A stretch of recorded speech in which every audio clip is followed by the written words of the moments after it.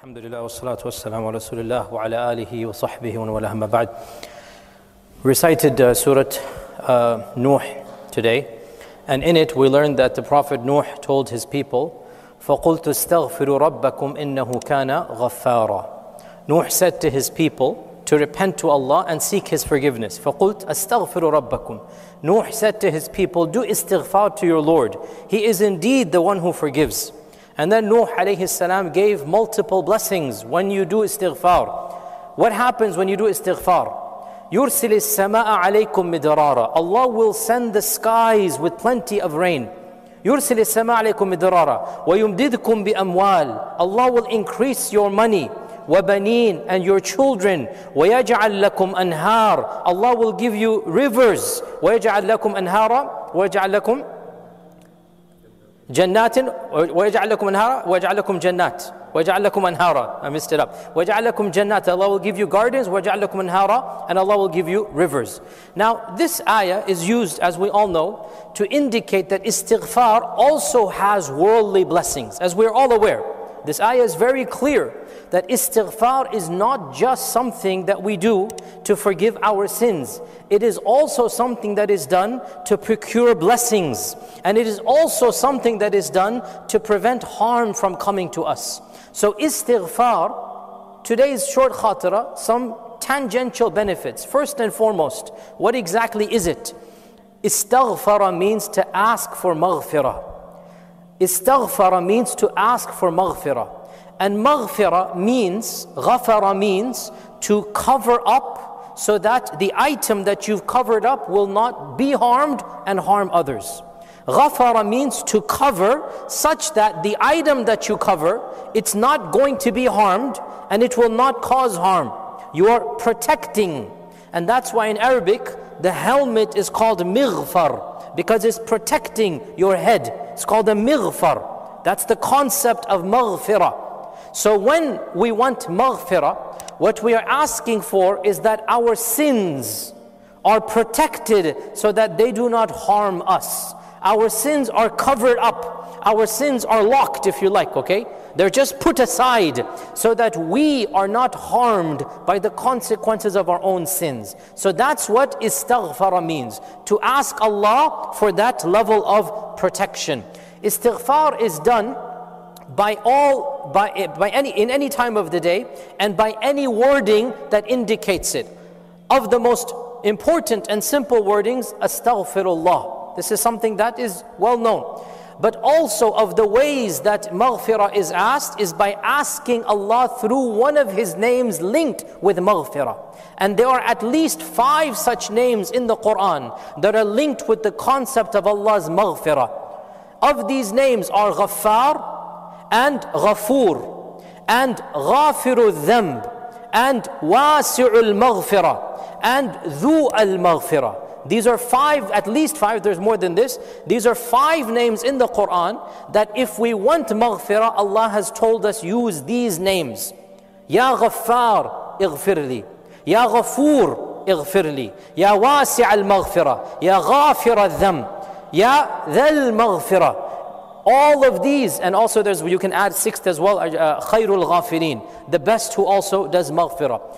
Allah mentions all of these names so that we use those names when we ask for maghfirah.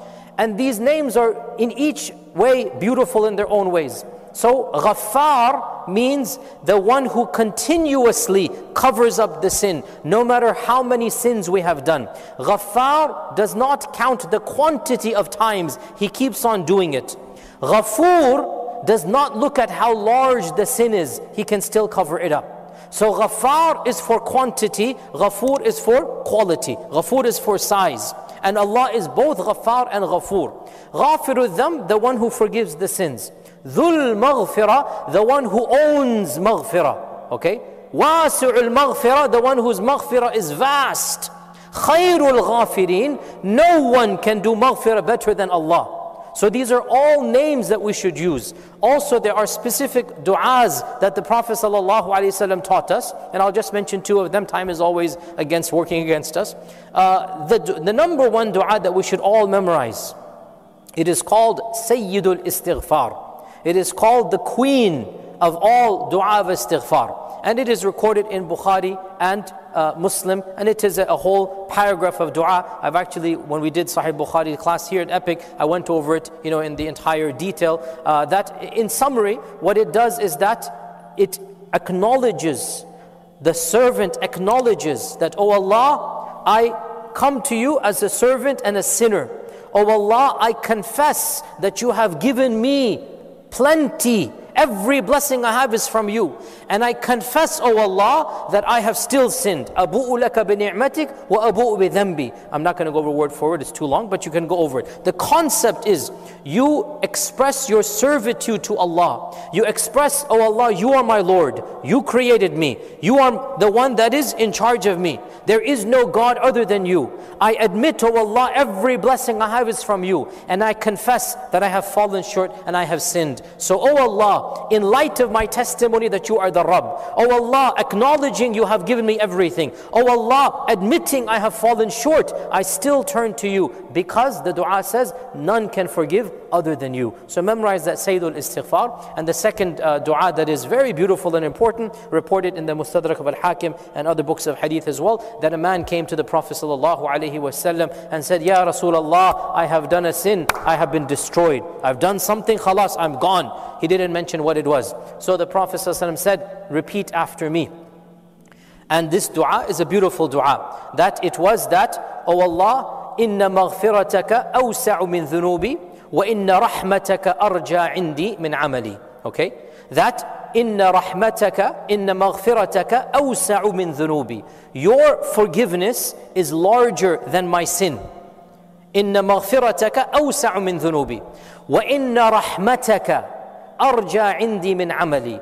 And your mercy is more hopeful for me than all the deeds that I have done. You can memorize this in English, it doesn't matter. The languages are all the same when it comes to dua. Oh Allah, your maghfirah is larger than my sins. Simple, right? Oh Allah, your maghfirah is larger than my sins. And your rahmah inspires me more than my own actions. Simple, right? That's the dua in Arabic. I've translated it in English.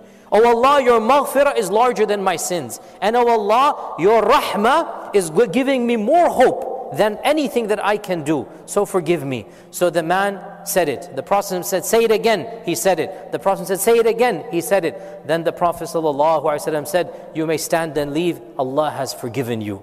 Simple dua to the point. Oh Allah, my deeds cannot compete. Your maghfirah is needed for my sins and your rahmah is needed for my mercy. My deeds are not going to give me that. When you acknowledge that, then you have perfected the uh, istighfar. So we ask Allah subhanahu wa ta'ala, the ghafoor and the ghaffar and the dhul maghfirah and the wasi'ul maghfirah and the khairul ghafirin and the ghafirul dham to forgive our sins. We confess to Allah subhanahu wa ta'ala that every blessing we have is from Him and we admit we have fallen short in our service to Him and we have committed plenty of sins and we beg Allah Azza wa for forgiveness because none forgives other than Allah. So we ask Allah to forgive us our sins and inshallah we'll continue in our next khatira. Wassalamu alaikum wa rahmatullahi